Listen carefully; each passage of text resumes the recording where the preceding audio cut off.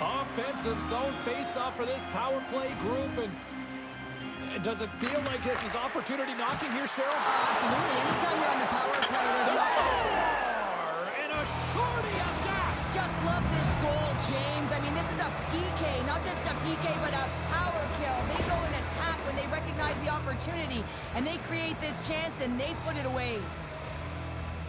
Well, they don't ask how it goes in, James, just if it goes in. But this is one of those goals that's all about the effort areas, the hard work, and the timing to get to the rebound first.